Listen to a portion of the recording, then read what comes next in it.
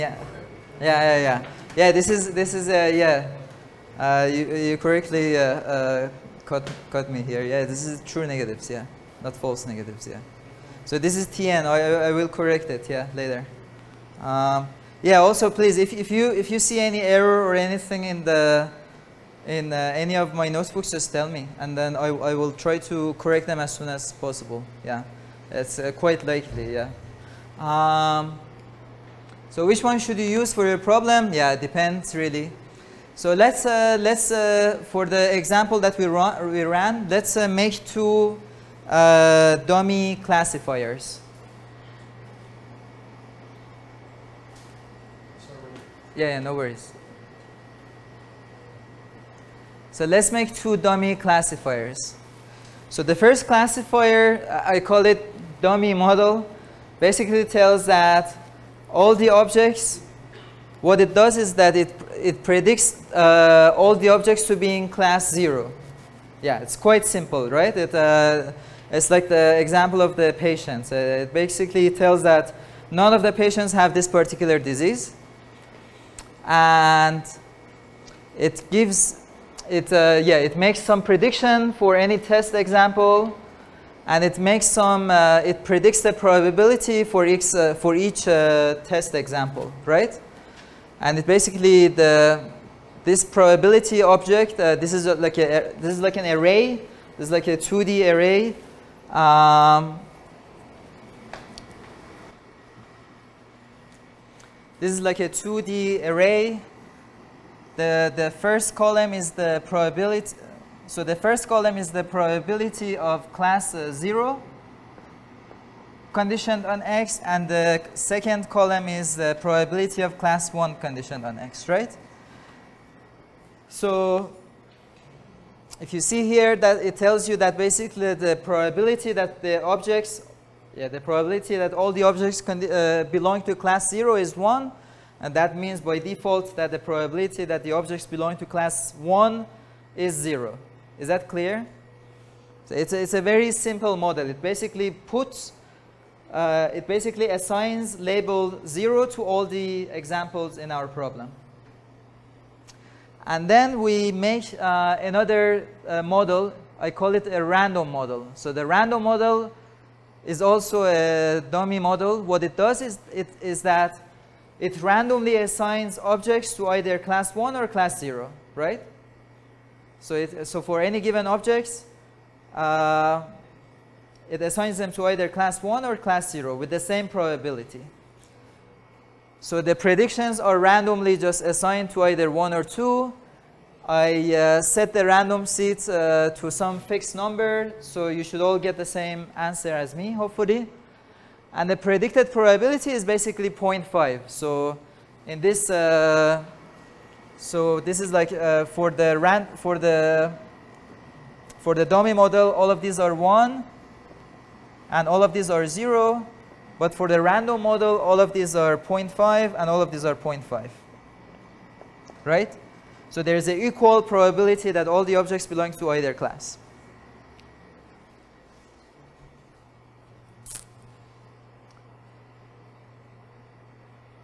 So now let's look at the accuracy of the dummy model. The dummy model is the model that tells you that all the objects belong to class 0.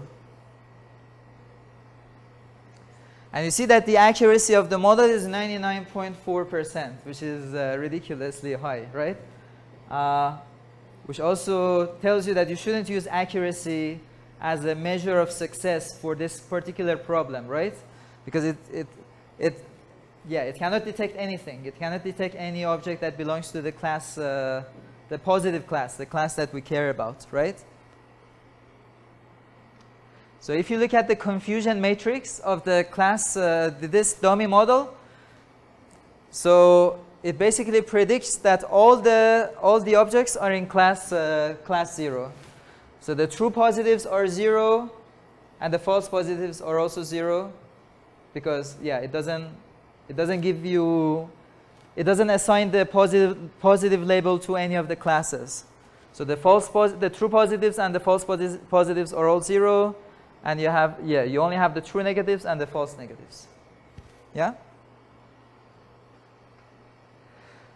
Okay. So here we just want to uh, introduce another concept. It's called the ROC curve. It's, uh, uh, it stands for receiver operator characteristic or something like that. You can look up the history of the ROC curve in uh, Wikipedia. Uh, I don't know. Once I heard the story that it has had to do with the uh, with the I don't know in the World War II apparently uh, they wanted to classify the objects that were traveling underneath the airplanes like the fighters and they wanted to they wanted to like classify whether these objects were like uh, enemy airplanes or like uh, birds, like flocks of birds and stuff like that. Actually, I don't know how true that the story is, but yeah, I, I guess you can go and check it yourself, and you can tell me if it's a, if it's a true story. So in that in that particular example, uh, so you have some classifiers. The classifiers are actually like uh, literally just human beings uh, saying that th this is a bird, this is an airplane, right? And then the positive in that example is airplane and the negative is birds, right? Uh, if you had a dummy example, it would basically tells you that everything that flies underneath the airplane is a bird, right? It's a very good uh, classifier. Or if it's a very nasty uh, classifier, it would tell you that everything is an airplane, so you, you, you, you have to shoot it, yeah? Or it can say that it's random, yeah. So you can tell the, yeah, you can, you can go and uh, look at the story. But then the, the, this yeah, ROC stands for receiver operating uh, char characteristics. So then the problem is that when you run a machine learning algorithm, it doesn't just uh, provide you with a label, it provides you with a probability. Um,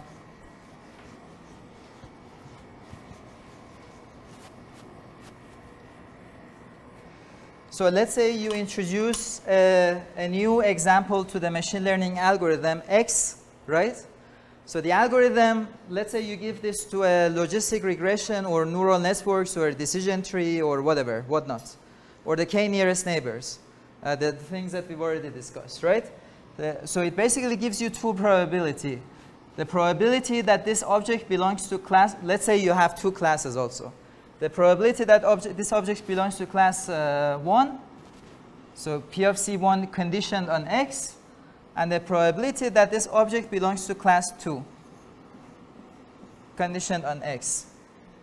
So this is basically actually just 1 minus 1 minus uh, P of C1 conditioned on X, right? Because because of the basic rule of probability, these two, the sum of the two should, uh, should be 1, right?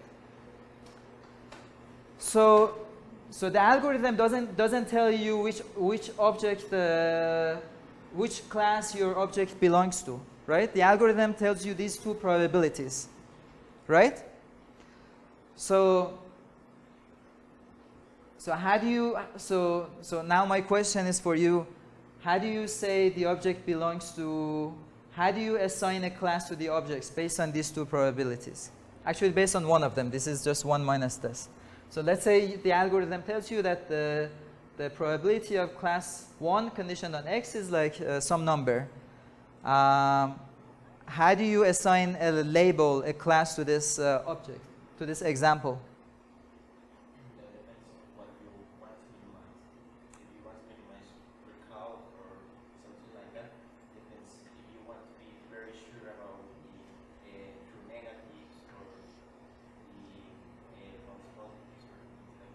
Yeah.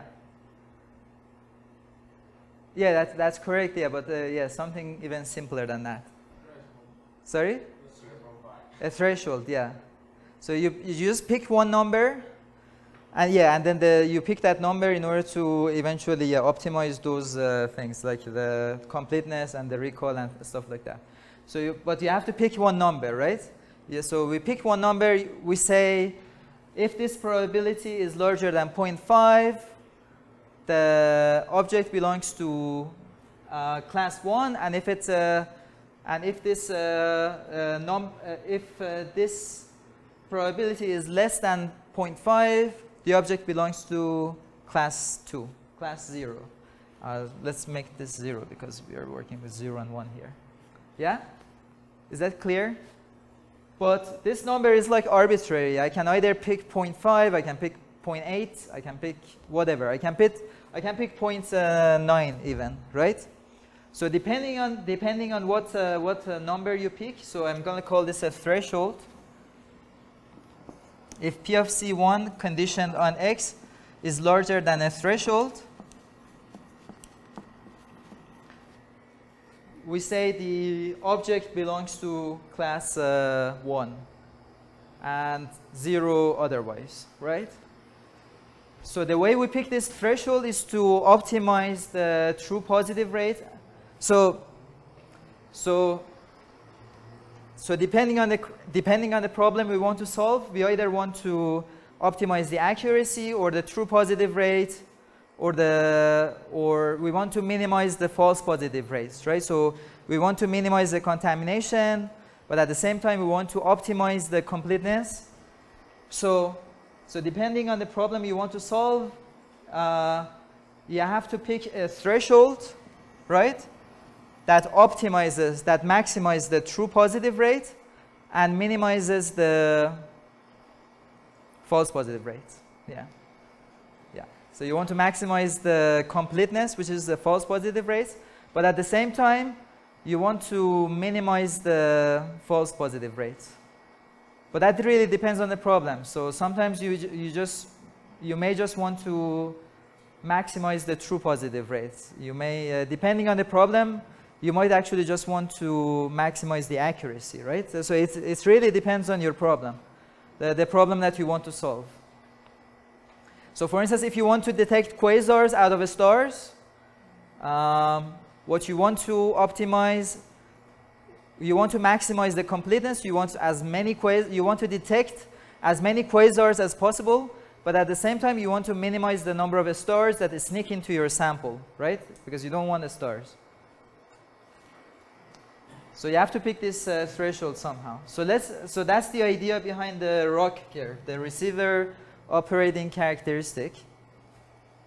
And we have three minutes. Let's see if we can go over this in three minutes. So, oops, I gave up the punchline. Uh, so you can, yeah, so here in this cell, you can compute the probabilities from the logistic regression model, right?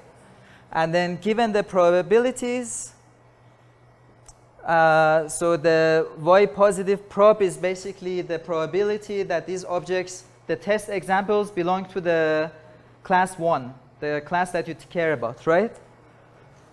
And then basically you can uh, call this uh, function ROC curve and it gives you the thresholds. So it basically these numbers plus the false positive rates and the, and the true positive rates, right? So basically this function gives you the thresholds that we talk about, these thresholds, and also the true positive rates that uh, correspond to these thresholds and the false positive, positive rates that belong to these thresholds, right? So if I increase the threshold, what's going to happen to the true positive rates? Can, can someone say?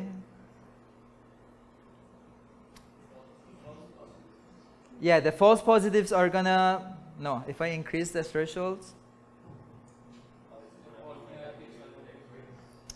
No, so if I if I if I set the threshold to zero, for instance, right?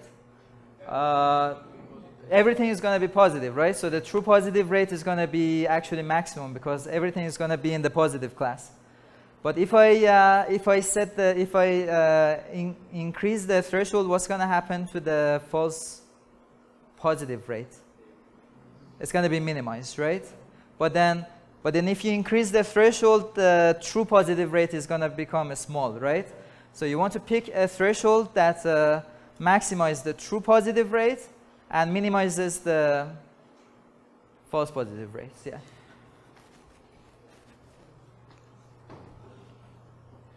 So if you run this, um, so forget about this for now. So in this plot, you see the, yeah, the true positive rate as a function of thresholds. So if you set the threshold to 0, the true positive rate is going to be 1. It means that you're going to pick up all the objects. You're going to say all the objects belong to class 1. So obviously, the true positive rate is going to be maximum. But then if you increase the threshold to 1, let's say you only allow objects to be in class 1 if the, if the probability is more than 1, which is impossible because probability is bounded by 1. So you're not going to pick up any object, right, as, as, uh, as class 1. So the true positive rate is going to be 0. And as for the false positive rate, if you set it to 0, if you set the threshold to 0, the false positive rate is going to be 1. Do you know why? Sorry, I think your mic broke Oh, really? Ah. No, actually, it's, uh, it was here. Is it good now? Or maybe it's actually turned off. Yeah, I don't know. So yeah, if you yeah, if you change the um, is it the false positive rate? Let me see.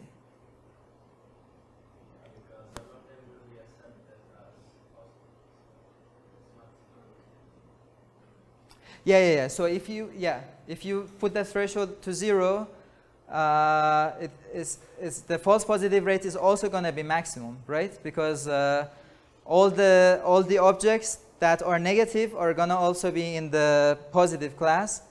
So your sample is going to be highly contaminated. So if you if you set the threshold to zero, uh, you're going to pick up all the quasars, but also at the same time, all the stars are going to also be in your sample. So your, your sample is going to be highly contaminated, right?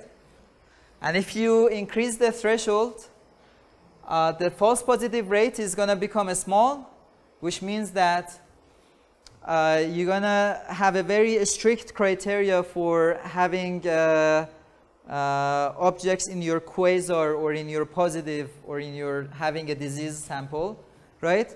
But at the same time, you're going to have very few positive examples, right? So if you if you set this threshold to 0.9, it means that this probability has to be more than 0.9 in order for the objects to be in your positive class, in your quasar class, right? So it's going to be very difficult for, uh, for your model to achieve this. So you're, gonna, you're not going to have any, you're not going to have th- that many positive examples. So you have to pick a threshold that minimizes this, but also at the same time doesn't really uh, decreases this uh, true positive rate that much, right?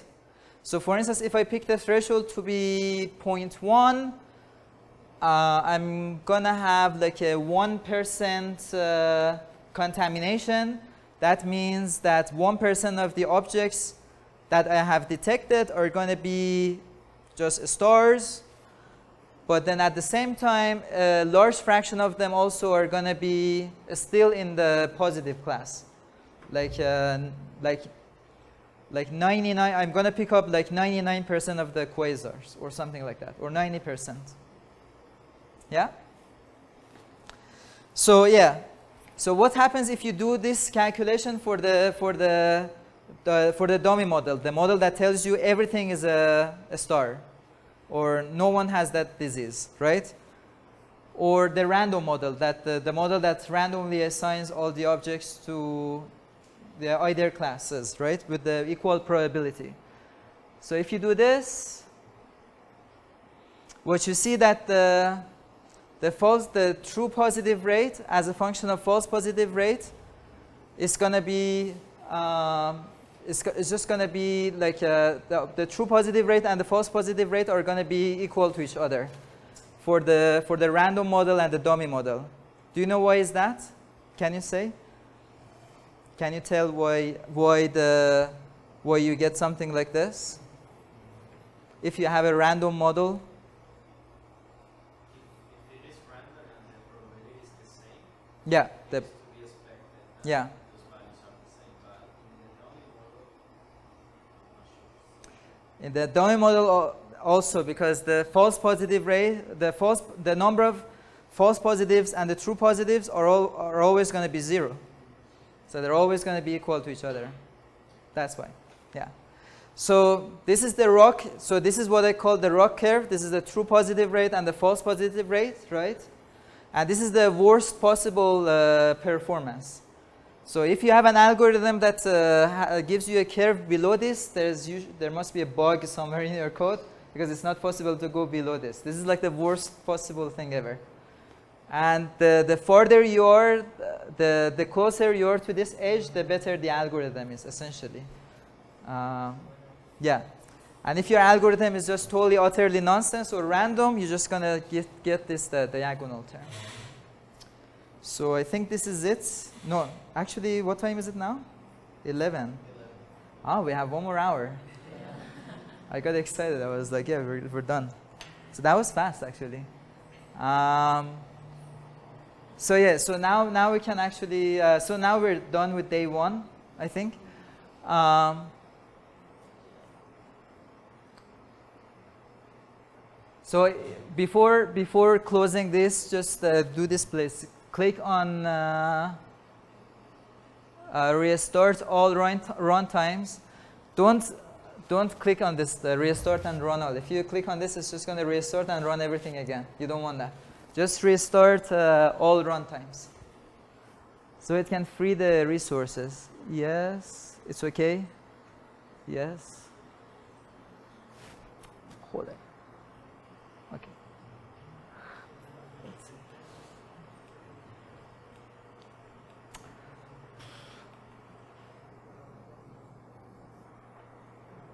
And of course.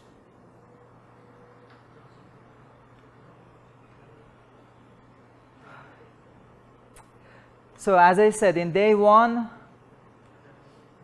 we covered all of the materials in day one. There is this example, quasar photo Z estimation. Um, we're not going to go through it. If you have any question, you can come to the office either before afternoon or after the class in the afternoon. And I can walk you through it, but then, yeah, and you can look at it uh, yourself. You can play around with it. Um, so if you go to day two, so, which is today. Uh, we're we're going to talk about uh, neural networks. Um, I've also created some uh, slides um, because uh, some of the concepts are hard to describe in IPython notebooks, in a Jupyter notebook. Uh, I haven't put the slides on the GitHub repository yet. Um, this is actually empty. I'm going to delete this. So, so yeah, uh, uh, after this class, I'm going to put the slides on the GitHub repository. So today we're going to talk about just uh, yeah, basic, like fully connected neural networks. And then tomorrow we're going to talk about convolutional neural networks. But then first we're going to start with uh, neural nets underscore 101. This is a Jupyter notebook, but there's no, there's not much code in it. There's just a bit of math. Um, I think in order to understand, uh, get, have some understanding of the neural networks, uh, you just need to understand the math. The math is actually quite simple. It's basically just linear algebra. Um, so I don't know, have you taken any linear algebra course? I'm curious. Yeah, yeah, you should all be, yeah, it, should be okay. So as long as you know basic uh, calculus and the linear algebra, you should uh, be able to understand how neural networks, how neural networks uh, work. Because basically neural networks are basically just a combination of some nonlinear operations and some linear algebra. It's, it's nothing beyond that. And some smart uh, tricks for optimizing and coming up with architectures and stuff like that. And also some probability theory. So if you go down the page, uh, I have some uh, resources that you can go and look at. Um, so yeah, these are some references that you can go and look at. There is a deep learning book by uh, Ian Goodfellow. Uh, this is a PDF and it's available online. You can go and uh, it's actually a very thick book. I don't recommend you to go and actually open it and read it, the, the whole thing, because it's going to take ages. Uh, and there is this, this book, this machine learning and pattern recognition. This is also, these two are very formal books. But if you want to really understand the math, it's actually quite nice. Uh, but there are some uh, video lectures associated with this book. So this uh, Ian Goodfellow guy is a very prominent uh, deep learning researcher. Um, And he basically walks through the, uh, the book in these video lectures.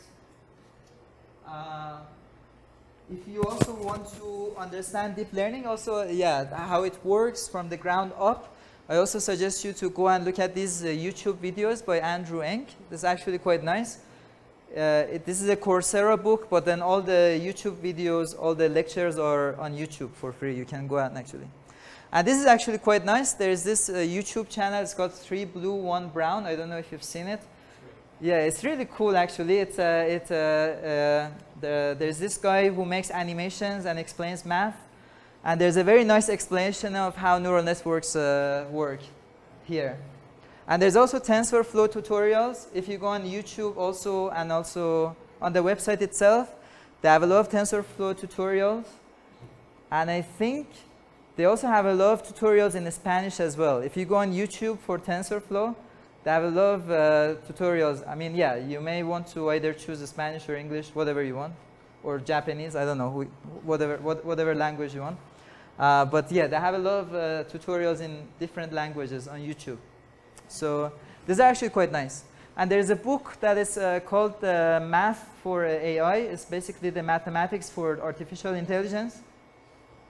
It's a walkthrough of the mathematics behind the machine learning algorithms. Uh, just, just like I said, uh, yeah, all you need to know is a bit of a bit of probability, a bit of linear algebra. That's it. There's not much else. And yeah, some calculus as well. You need, you always need calculus. Um, let's go up the. Yeah. Oops, what did I do?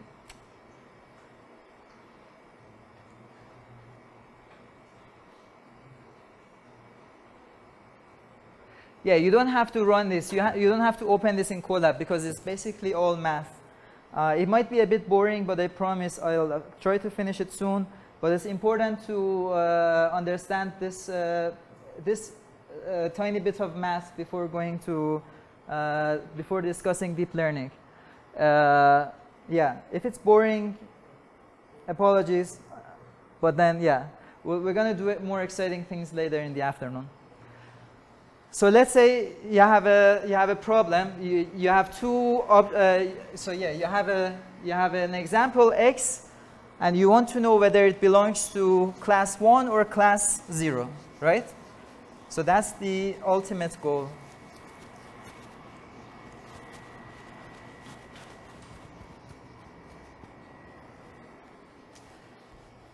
Is this a small? Can you read this, or should I? Uh it's very, it's extremely small, right? Yeah. I'm going to zoom in a bit. Is it better now? I'm going to zoom in even more. Yeah, now it should be quite good. Okay.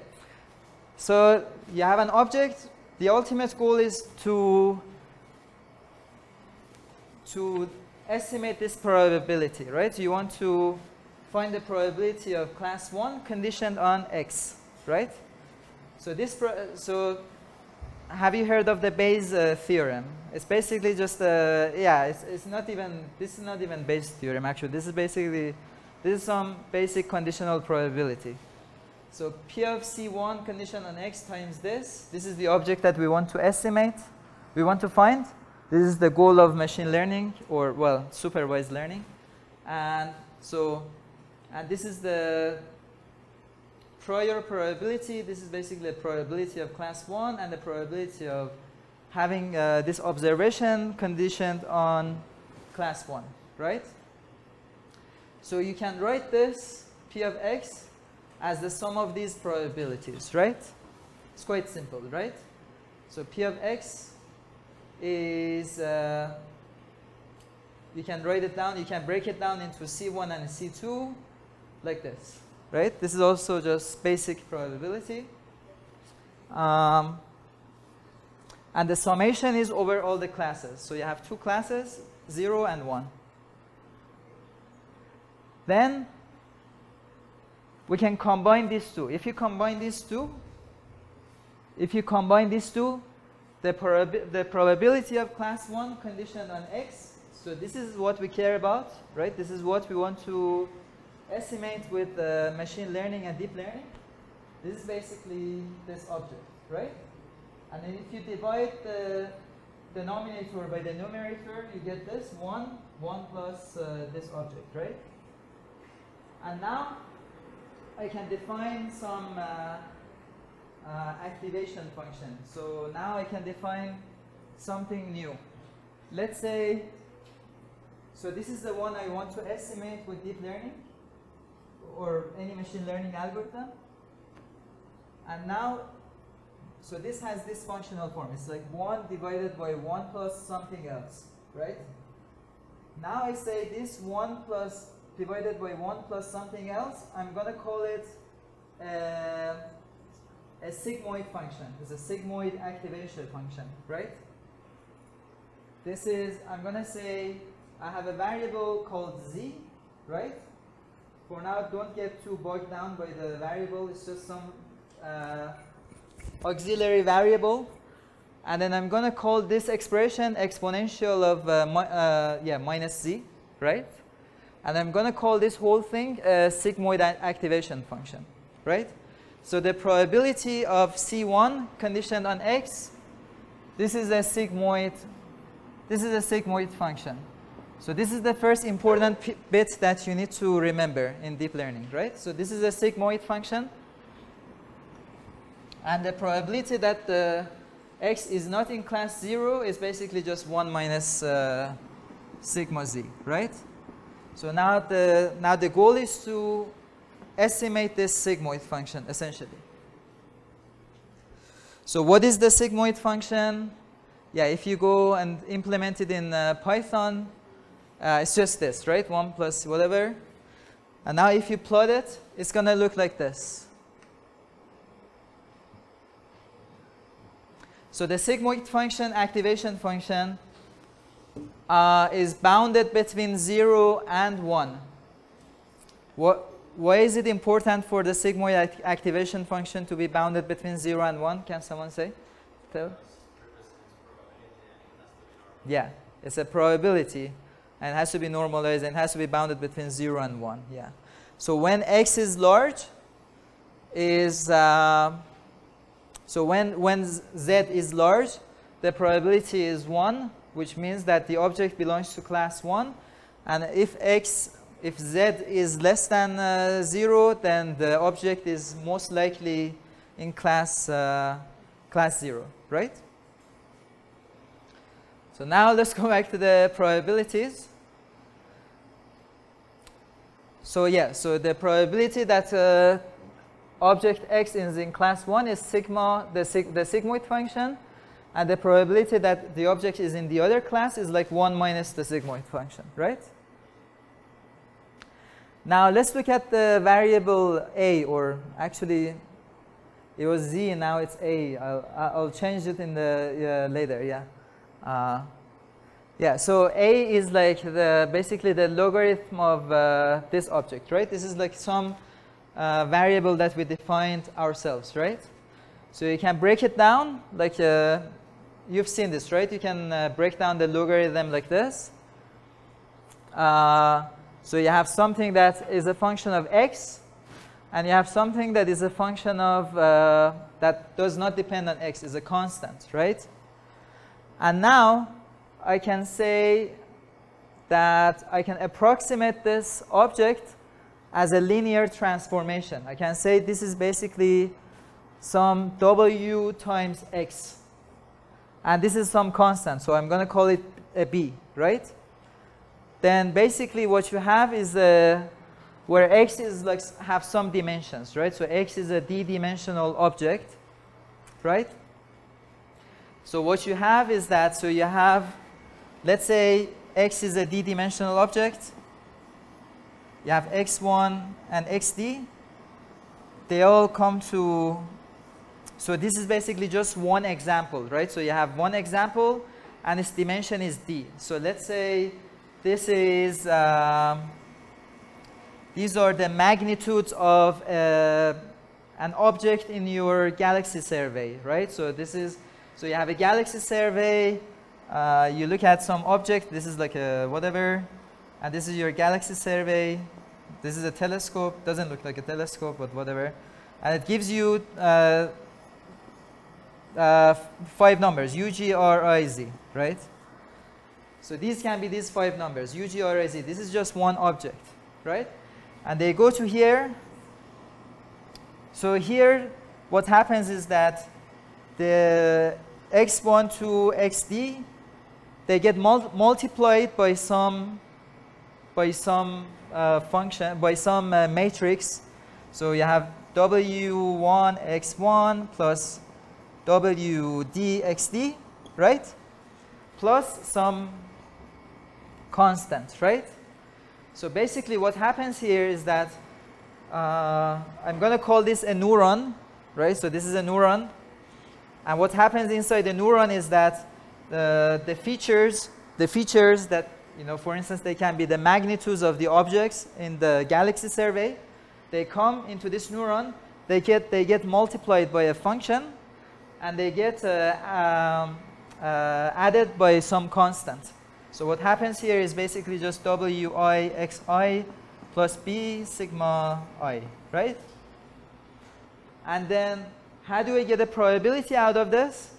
I apply a nonlinear activation function to it. So this, I apply a nonlinear activation function to this, and this becomes a probability. So this is the most basic neural networks you could ever imagine, I guess. Yeah, so this is actually, yeah, this is the simplest version of a neural network. So you have a bunch of features, they go here, they get added, this is just linear algebra, and then inside the neuron, and then you, uh, you basically apply a nonlinear activation function to these numbers, and this gives you the probability of this object belonging to the class 1, C1 by X, essentially. So that's, that's, that's, yeah, that's all you have. Quite simple. And now the dub, so W and B are some free parameters that we need to estimate, right? So here note that I say this is W transpose X plus B. Depending on where you look at, this might be WX plus B, doesn't matter much. But then let's say X is a d-dimensional like objects, right? What is the what is the dim dimension of this matrix? So uh, X is a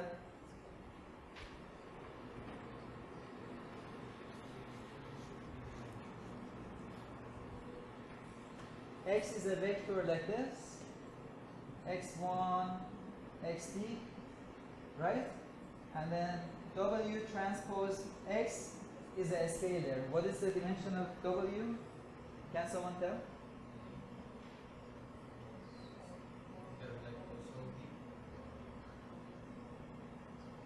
Yeah, it's like uh, 1 times d, yeah. So w is a uh, 1 times d dimensional uh, matrix, essentially, right? So this is the dimension of the matrix. So it's always important to keep track of the dimensions of the matrices because uh, in, the, in the future, I mean, guess in half an hour we're to look at even more complicated things. So yeah, it's always important to do this. So yeah, logistic regression, the model that we used in the previous uh, Jupyter notebook, basically does this. It's very simple. It's a very simple neural network. It's like a so you have, uh, you have uh, one example with a set of features. It goes into a neuron. It gets multiplied by uh, a bunch of numbers. And it gets added by another number. And then you have this uh, uh, activation function, sigma, which is applied to these numbers, right? And then... Does, it, does this actually work?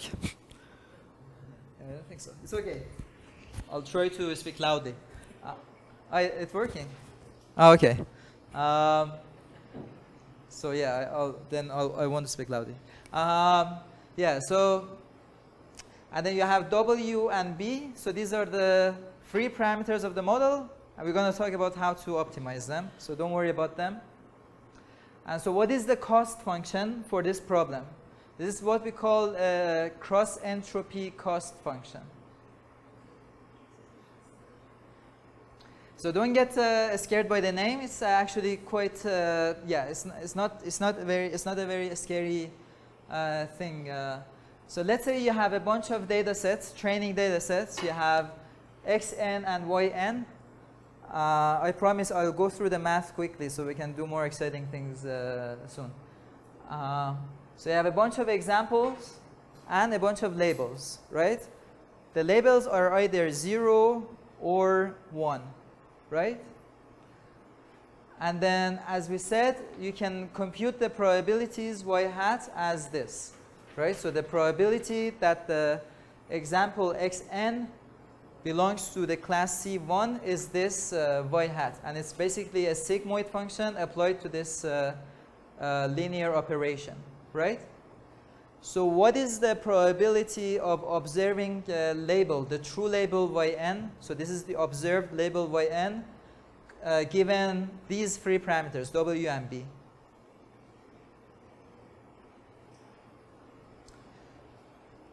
So you can write this as this. So the probability of the observing the true label condition on the three parameters of the model is basically the multiplication of these two probabilities, right?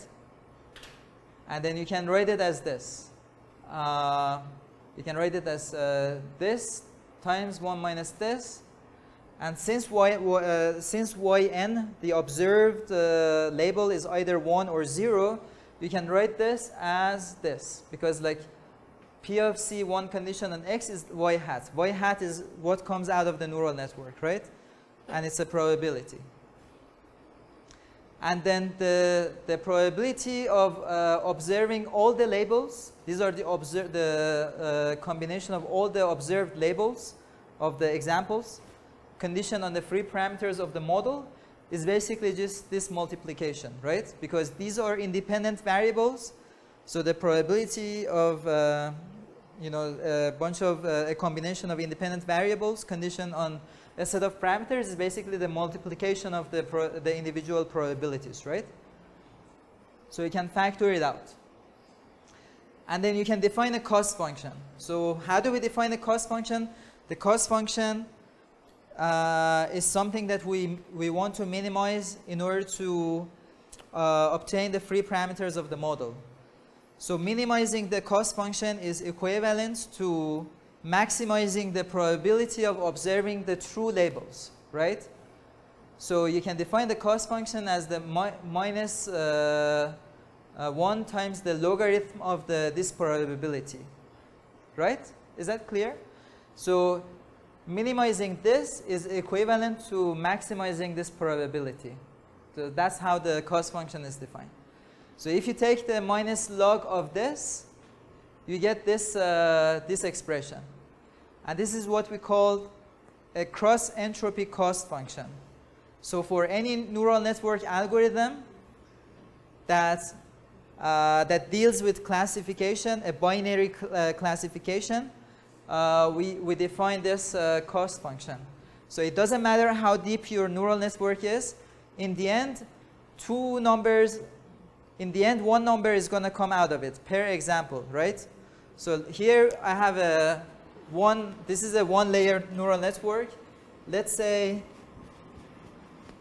let's say I have a deeper neural network. Let's say I have a neural network that has a bunch of uh, layers. I'm going to talk about this, don't worry.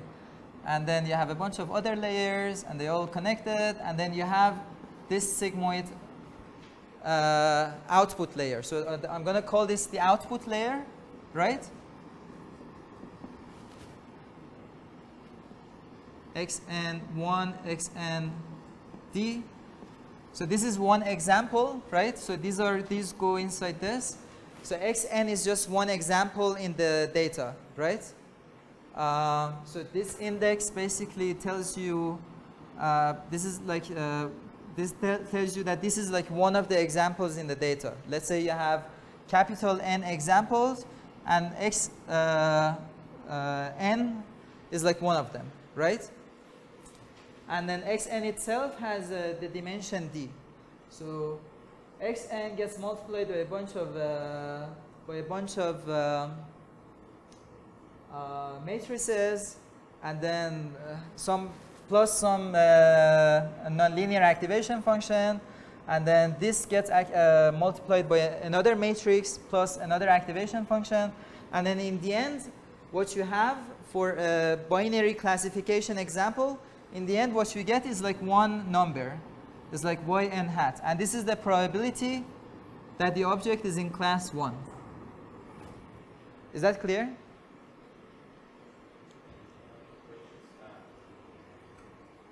What do we do when we don't have an independence between the classes? This is to say we have a correlationship and we cannot say that we can make this as a multiplication of products. Oh yeah, then that would be no. uh, Usually in, in real world examples, there is not there is no correlation between the probability that the object is a star is is independent of the probability that object that object is a is a quasar, for instance. Yeah, so you you can always do this. have Some type of correlationship, then it will it would it, it would not work. Yeah, then you have to find uh, another way of labeling your objects. Yeah. Okay, and another question is, I, I don't understand very well where does the to the g sub n comes from. W- which one? Uh, in the, the after, so what is the probability of observing? Yeah. The Y hat g n? hat to the g sub n in the in a up. Where? We He- have g sub hat n sub n. Yeah, yeah, yeah. But below, below to the g sub n. I, I don't Ah, this. Yeah, yeah. So this only works out because yn is uh, yn is either one or zero. Yeah, but Yeah, yeah, yeah. If it, if yn wasn't y, uh, zero or one, this wouldn't work out. Yeah, but, uh, but I don't understand if, where does it come from because from the upside formula, Mhm. we replace that there. Uh, I don't see where does it the come from. No, no. Y, uh, you mean yn? So y, yeah. n. No, yn is the true label. Yeah, Is, yeah. is the observed label, and it's either zero or one. yeah, I get it, but, but we have the probability of class one given the xn. Yeah? Yes, and yeah. thus, Uh, hat sub n. Yes. Not g hat sub n to the g sub n. That's what I don't understand. Ah, yes, yes, yes. You can. Yeah. Thi- this is this is because yn is either zero or one, so you can always write this. If yn wasn't either zero or one, you wouldn't have been able to write this down. Yeah. Yeah. This is the yeah. This is only you can you can only do this because yn is either zero or one. If yn wasn't either zero or one, uh, you wouldn't have been able to do this. Uh, we can talk about it after the class. Yeah. So yeah. So anyways, so whenever you have a whenever you have a binary classification, you have this cost function, right? So this is the uh, cross entropy cost function. So what if you have more than one class? So here we talked about just the two classes. So what if you have mo- more than two classes? Uh, basically, you can write down this probability, conditional probability function like this, right? And then if you define this object as this exponential of a, then the, the probability of observing class i condition on x is this, uh, is this object, right? And this is what we call a softmax, uh, softmax activation function. So let's say you have, and this has the, this has the uh, property that the sum over all the classes is going to be 1. So whenever you have a binary classification, you have a sigmoid, uh, you have a sigmoid uh, activation function, and whenever you have multiple classes as the output, you have the softmax, right? And we'll talk about it um uh, later, uh, so you don't have to. We'll come back to the. So yeah, I'll also say it. Uh, so yeah, basically, so you have this uh, you have this operation. So this is the building block of essentially neural networks, right? Um, so you have a nonlinear activation function, and you have some uh, uh, linear operation, right? So that's all you need to know for that happens in a neural network. And as for the activation function, sometimes uh, instead of the sigmoid activation, activation function, we use a different activation function. We use uh, uh, something different. So we can either use a tanh activation function or ReLU. ReLU is a rectified uh, linear, yeah, or leaky ReLU, right? And if you visualize them in uh, Python, they're going to look like so. This is tanh. tanh is actually very similar to uh, is very similar to um, sigmoid, but also note that tanh is not between uh, is not bounded between minus one and one. So you cannot use tanh for the output limit uh, so for the output layer because the output layer has to be a probability. And the probabilities are bounded between 0 and 1 by construction. So you cannot use tanh or ReLU in the output layers. So for the output layer, if you have two classes, you use a sigmoid activation function. If you have multiple classes, you use softmax.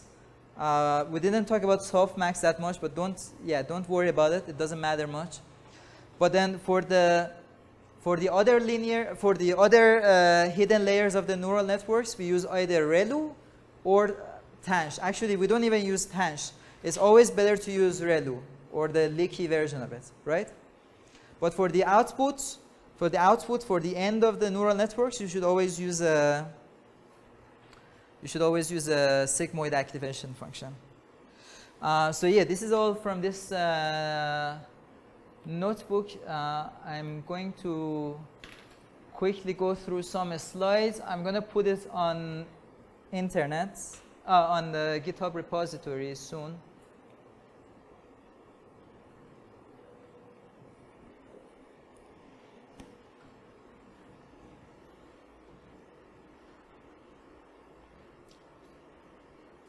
Still loading.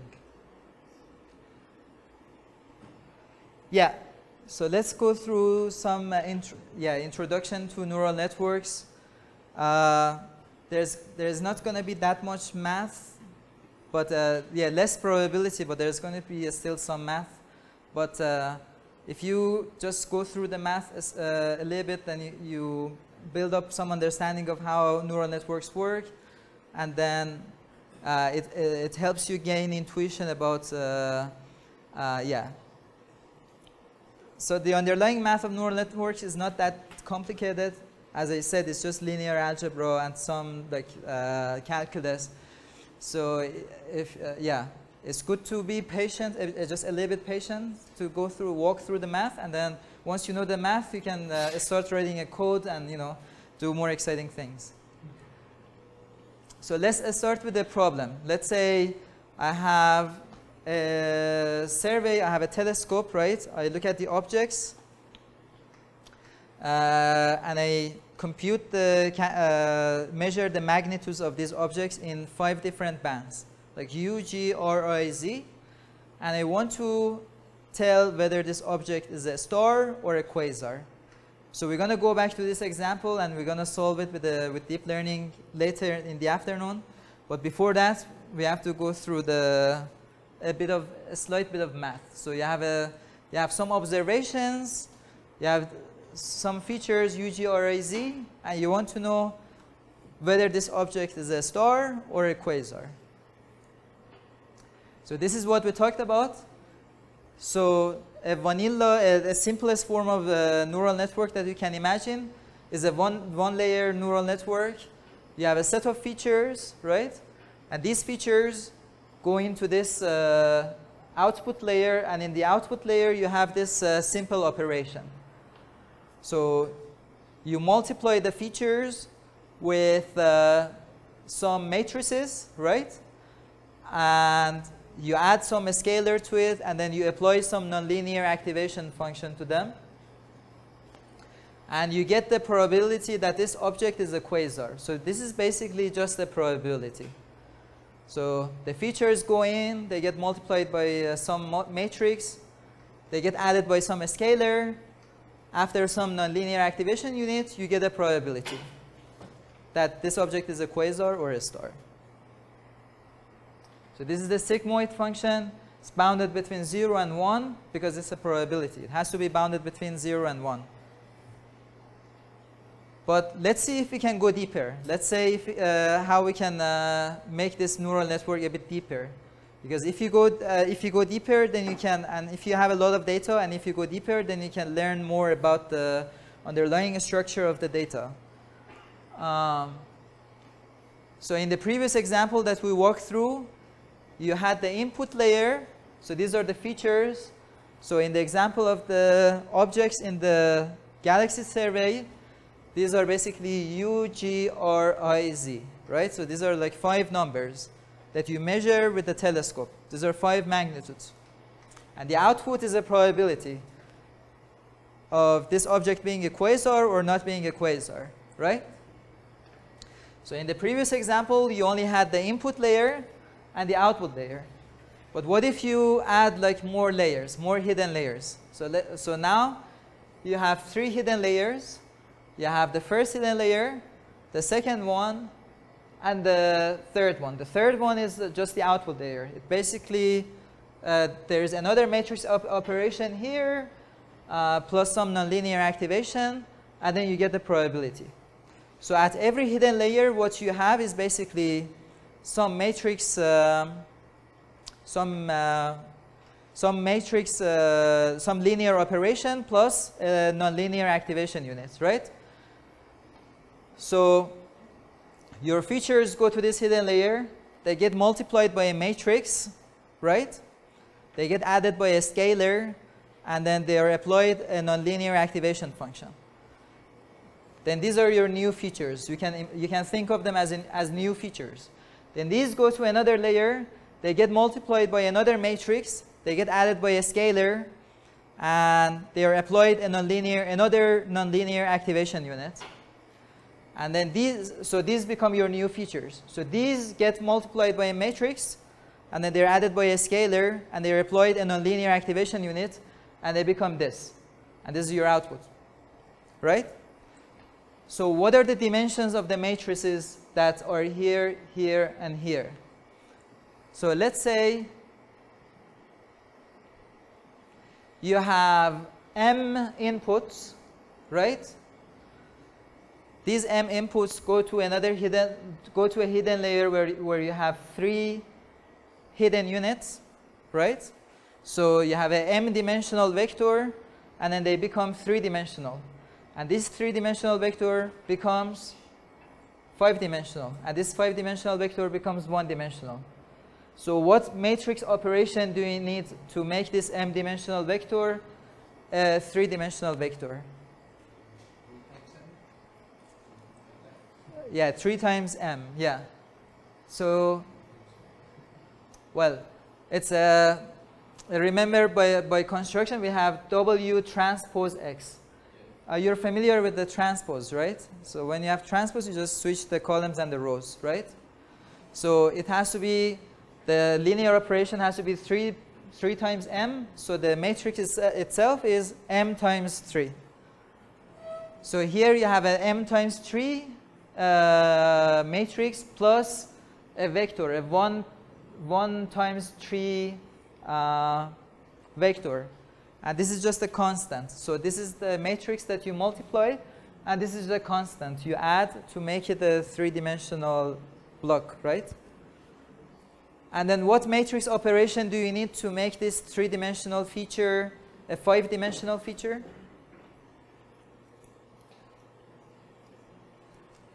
Can someone volunteer?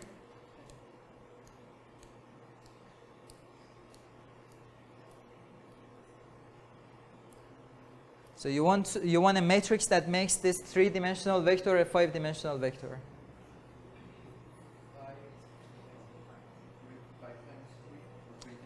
Yeah, 3 times 5, yeah. 3 times 5 because there is a transpo transpose here. Actually, yeah. Uh, yeah, so it's a 5 by 3, but then if you transpose it, it's a 3 by 5, right? So this is a 3 by 5. So you have a 3 by 5 matrix plus uh, 1 by 5. This is just a constant, right? You can also think of this as a, as a weight, but yeah, for now this is just a constant. So in the second, so this 2 basically means that this is the second hidden layer. Oh yeah, sorry, I didn't notice, uh, explain the notation here. So that's um, superscript parentheses 1 that is basically tells you that uh, these matrices, these parameters are for the first hidden layer.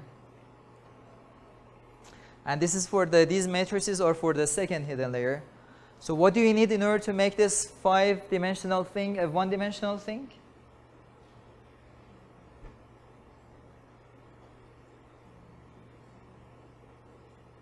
One by five. Yeah, 1 by 5. Well, it's a transpose, yeah. So uh, it's a transpose, so it's a 5 by 1. So you have a 5 by 1 plus 1 constant. And the 3, the superscript 3 means that these are the matrices uh, that belong to the hidden layer, uh, the third hidden layer, which is also the last and the output hidden layer, right? So that, that's all that happens in a, so we call this a fully connected neural network. Uh, or if in some, in some, I guess, textbooks, they call them feed forward, something like that, or even artificial neural network. But yeah, but this is a fully connected neural networks. Um, so that's all that happens inside the neural, in a fully connected neural network. So you have these uh, matrix operations, and in each uh, in each uh, hidden layer, you also have a uh, nonlinear activation unit, right? Which is either a ReLU or a sigmoid.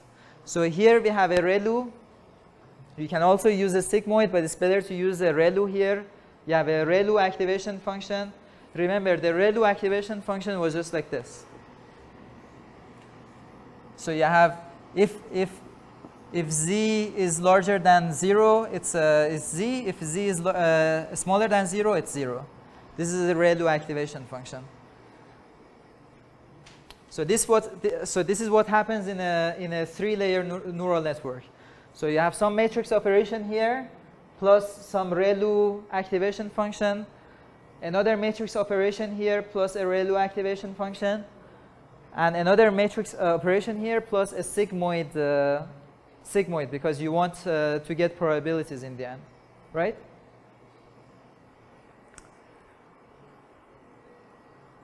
So this is what happens. So if you have like L layers, at each layer you have a bunch of uh, matrix operations. So these are basically just matrices. And these are the free parameters of the model. Right? So these are the parameters that you want to estimate. And then what happens is that, so you have some input, gets multiplied plus a nonlinear, you get z1. z1 gets multiplied by this, plus in a linear unit becomes z2 and so on and so on, right? But then if you look at the if you look at this operation, you can write down the function like this. So you have so each each layer has its own output. You can think of uh, z1s as the outputs of each layer, right? And the final output of the uh, of the neural network, these are the probabilities. These are basically these can be obtained by uh, uh, recursively applying these functions to one another, right? So you can think of this as a function. This is a function of x, but z2 itself is a function of z1. zl is the output of the elf uh, hidden unit, uh, hidden layer, and this is a function of zl minus 1, and so on. And then in the end, you get like you get a cost function. This is like your cross entropy cost function, the one we talked about already, right? So y hat is the probability, and y is a true label. So uh, y is like either zero or one, and your y hats are the probabilities that are between zero and one. These these come from the sigmoid uh, act, uh, activation function. So how do we find these uh, parameters? So these are the free parameters of the model. How do we find them? So the answer is actually surprisingly simple. So let's look at this again.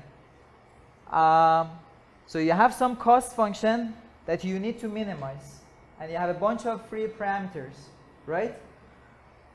Uh, so how do you optimize this cost function uh, with respect to the free parameters? You, so you have to take the derivatives of the, the partial derivatives of the cost function with respect to the three parameters. So how does it work? So the answer is quite simple. All you need is the chain rule. So I guess you uh, you've uh, uh, studied chain rule already, right? In calculus. Yeah. Okay. Good. So yeah, I guess in the first year of university, I guess, or even the second year, or whatever, or even high school, you you read about uh, you studied rules. Yeah. So basically, if you want to take the so theta L, theta L is like you can think of theta L as a combination of uh, WL and BL. So this is like a one parameter that belongs to the layer L. And we want to compute the derivative of J, the cost function, with respect to theta L, which is the combination of the matrix and this uh, constant vector. So this is basically quite, yeah, this is quite simple. You take the derivative of j with respect to zl. This is easy to compute because it's just a sigmoid function times uh, the derivative of zl uh, with respect to l minus 1, right? And this is just a matrix operation, right? Um, so if you go if you go deeper inside the neural network, let's say you want to compute the derivative of j with respect to wl minus 1 and bl minus 1. So what do you do? Then you use the chain rule even uh, further, right? So the, the partial derivative of the cost function with respect to the parameters of the L minus 2 layer can be obtained by uh, by taking the derivative of the cost function with respect to the parameters of the first layer times the uh, times the uh, the partial derivative of the parameters of the L minus 1 layer with respect to the parameters of the L minus 2 layers, right? So using this simple chain rule, you can just go all the way back in the neural network, right? It's like a, it's basically just a chain rule, right? And uh, we all know how to compute uh, derivatives, and we all know how to compute uh, multiply matrices. So using this simple chain rule, you can go all the way back to uh, the ELF layer of the neural network and compute the partial derivative of the cost function with respect to the parameters of the ELF layer of the neural network. And this is something that uh, if you read the neural network textbooks, this is something that called the back propagation so, or uh, back. So this is a back. So now we know the gradients. How do we optimize the parameters? How do we find the parameters of the neural network? So we use an algorithm called the gradient descent. So the gradient descent is actually quite simple. Let's say you start with some parameters, some uh, randomly initialized parameters for the thetas. Um, and you know these parameters, so this is like the, let's say you are initially, you, you pick some random variables for the parameters. How do you update them in order to minimize the cost function?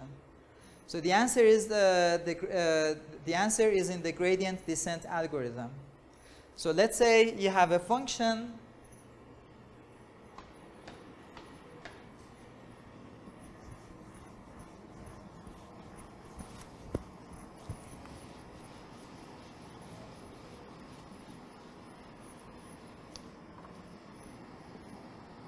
So let's say you have a function, this is j, this is theta.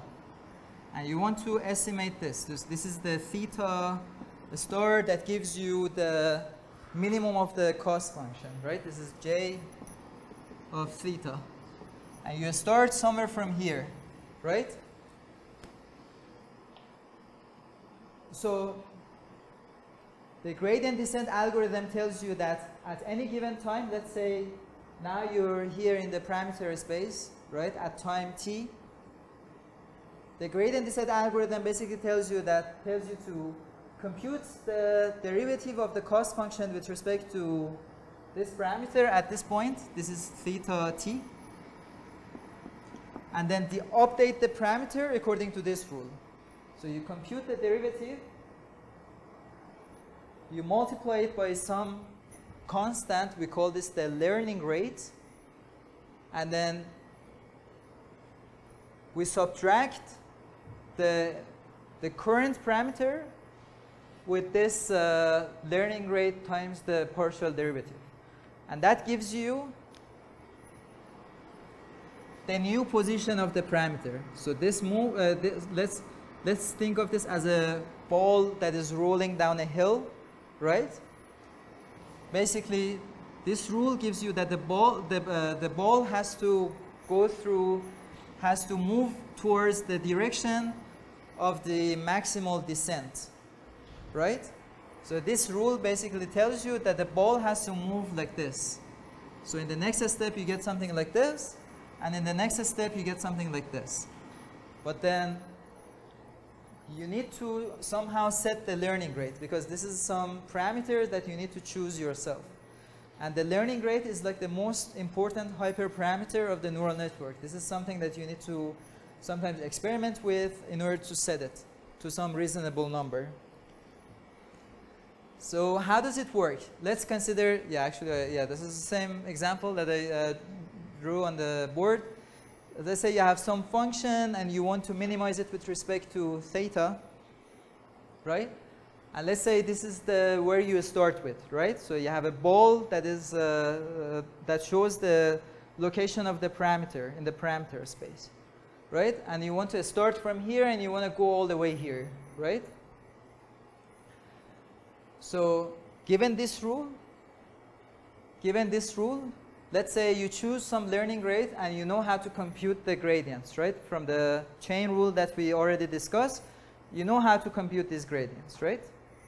So you know this, and this is something that you choose. This is some small number. We're going to talk about how to set this number. So you start from here, and then after one update, the ball rolls down the hill, comes here, and then after another update, it comes here, and after each iteration, it uh, gets closer and closer to the minima of the function, right? So you can think of it as, uh, as a ball rolling down a hill and choosing the path of optimal descent, choosing the path of uh, maximum descent, right? This is how the gradient uh, descent works. So you start from here, you move along this uh, gradient of the function with respect to the parameter. You come here, you take another step towards the direction of the gradient, and then you come here, and then you move, and you move and you move until you reach the minimum of the function, right? It's a very simple, intuitive algorithm. So the question is, so in this, in this uh, formula, I have some learning rates. So how do I choose the learning rates? So like in the first lecture that we had the number of nearest neighbors in the k nearest neighbor classifier, this is also a hyperparameter of the model. And uh, the, the performance of the model highly depends on how you choose these learning rates. And I think we're not going to have enough time to go through it uh, properly. So I'm going to leave it to the afternoon session. And then once we're done with this, we're going to go walk through uh, two Jupyter notebooks. One of them is about uh, just a simple implementa implementation of the gradient descent in Python. And then once we're done with that, uh, we, uh, we walk through a simple uh, deep neural network to classify stars and quasars with the with the measured magnitudes. So yeah, so the, yeah, let's reconvene uh, in the afternoon. All rolling down the hill, you might end up in a weird situation where the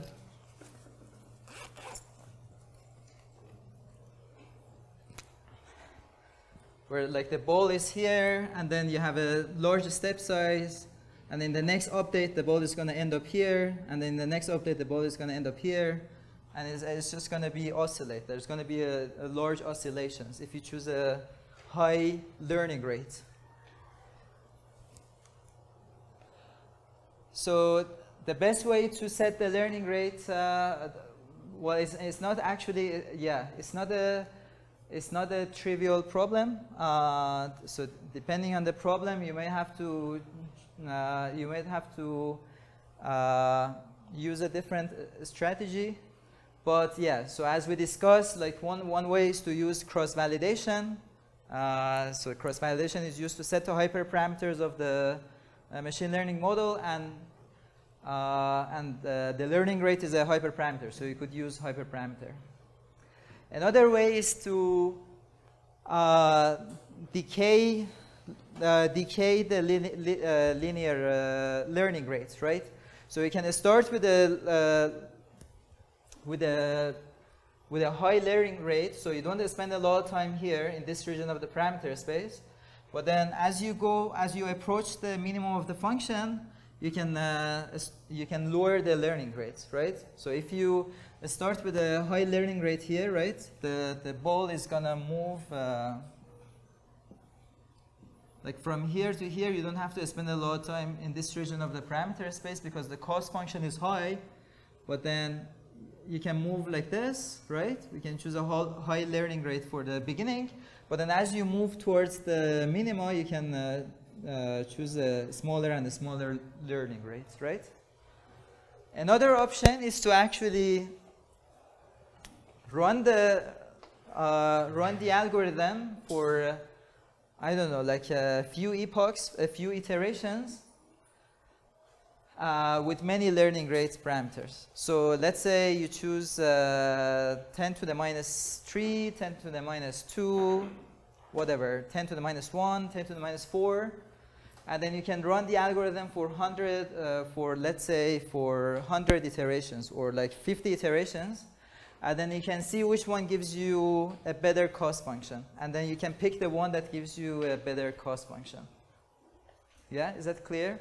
So you basically, so in this option, in this option, option uh, you choose, let's say, five different values of the learning rate. Uh, 10 to the minus 5, 10 to the minus 4, 10 to the minus 3, 10 to the minus 2, 10 to the minus 1. And then you run the algorithm and then see, and then you can see which one gives you a better cost function after 100, let's say 100 or 50 iterations. And then you can choose the one that gives you a, a, a lower cost function. And then you can start you know training your algorithm with that learning rate.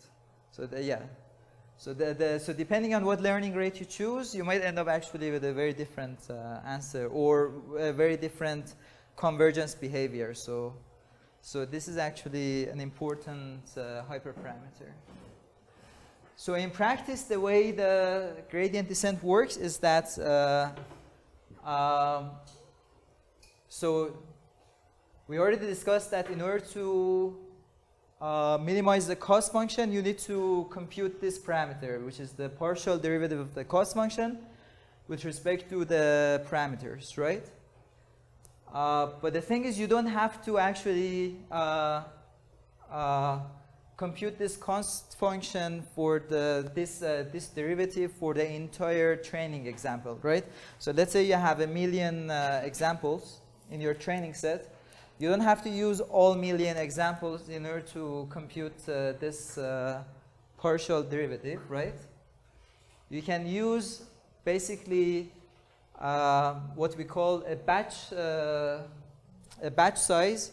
So let's say you have a million examples and you say, I only want to use at each step, at each iteration, I'm just going to use 64 of them in order to minimize the cost function.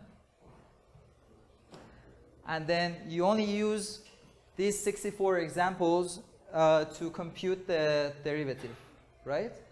Uh, so remember, so the cost function is basically the sum over the individual cost functions, right? So J is like the sum, or let's say you have uh, n examples in your training set, right?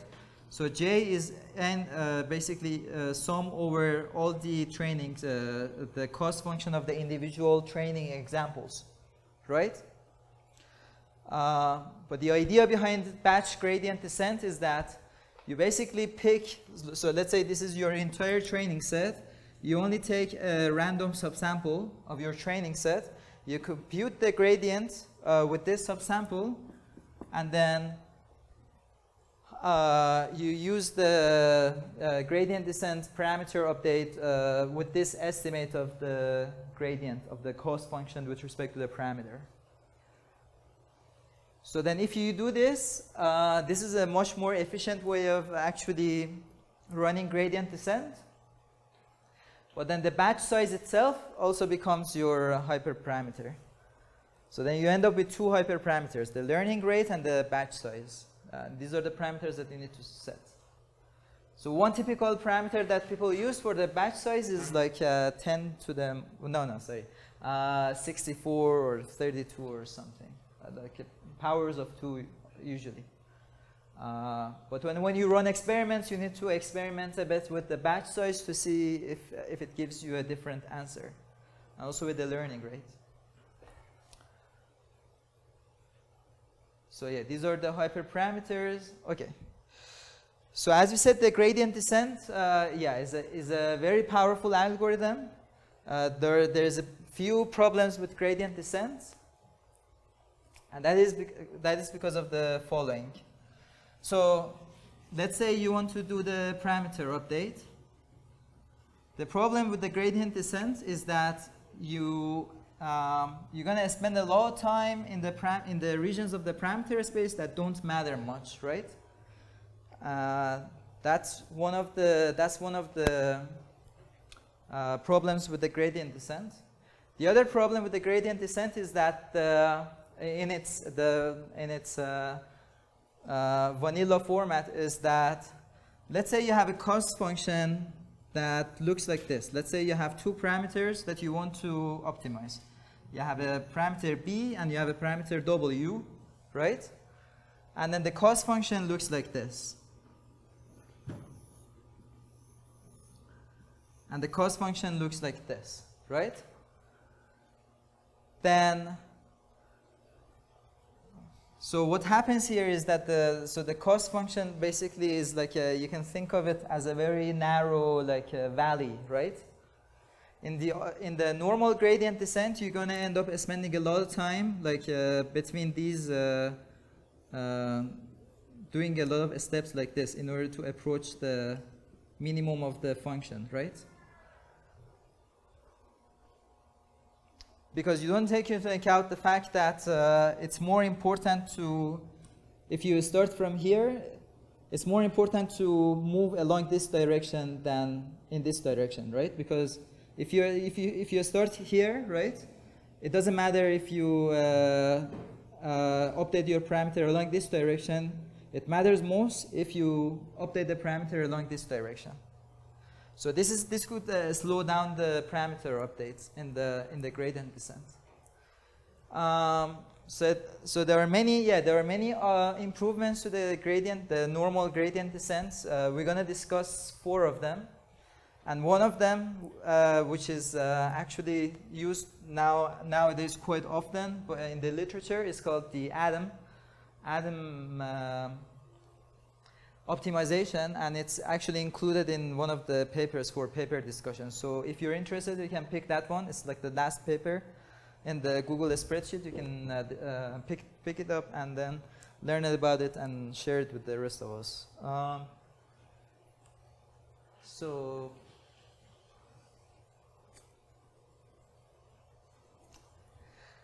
So, so the first uh, uh, so the first thing that uh, comes uh, that came into the minds of people who were doing uh, who were thinking of updates to the gradient descent was momentum. So when you do momentum,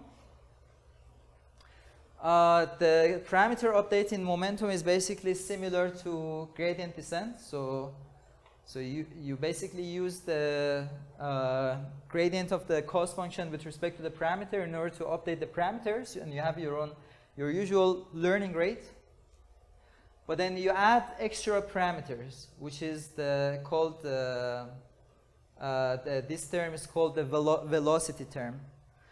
So in the example of a ball rolling down a hill, you can think of this velocity term as just an extra momentum to make the ball move uh, faster down the hill, downhill, right? And what what this gamma, what this basically velocity term is, is, is uh, accumulation of the historical values of this gradient. So basically, let's say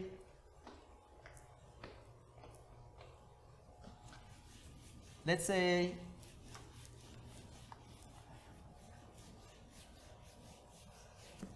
let's say you have a ball again in the ball example and you're rolling downhill right?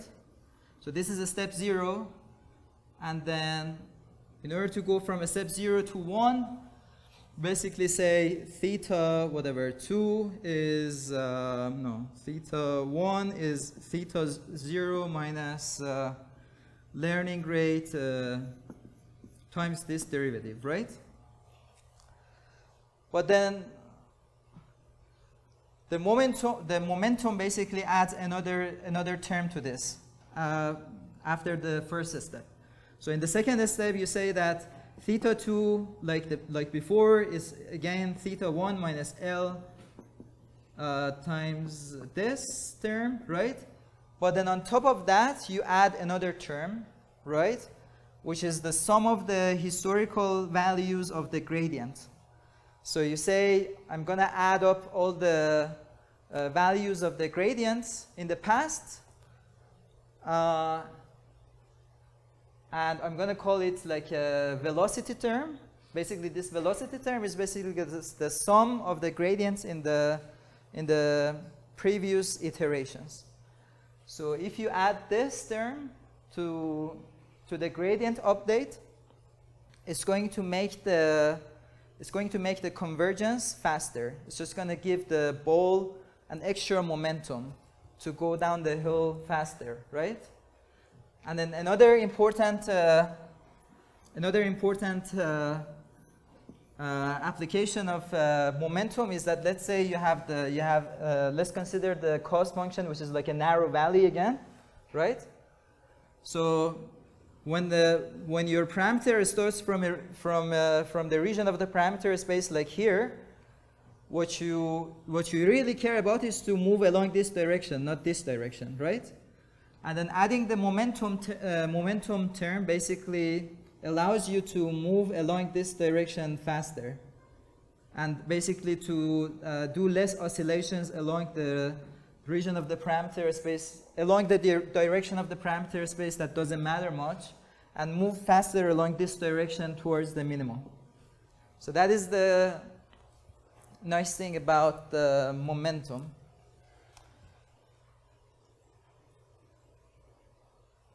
So now, if you add this uh, momentum parameter, you have an extra hyperparameter, and then uh, a typical value that people in the literature use for this hyperparameter is like something like 0.9 or something. And then if you choose a high value for this uh, hyperparameter, for this, uh, for the coefficient of the velocity, uh, then the problem becomes uh, the following. Then the gradients that are in the past, in the very past, will affect the, uh, will affect the parameter update in the present, right? Because the, the velocity term comes from the gradient terms in the past, right? Times t, right? So if you choose a very large value for this hyperparameter, the gradients in the past are going to uh, affect the parameter update in the present. So that's, that's one problem with the, with the momentum in its uh, usual format. Uh, but it's, it's, a, it's a very powerful uh, uh, optimization algorithm for not spending too much time oscillating between along the directions that don't matter much and like uh, like uh, moving faster along the direction that matters most, right? Then there is this other algorithm. It's called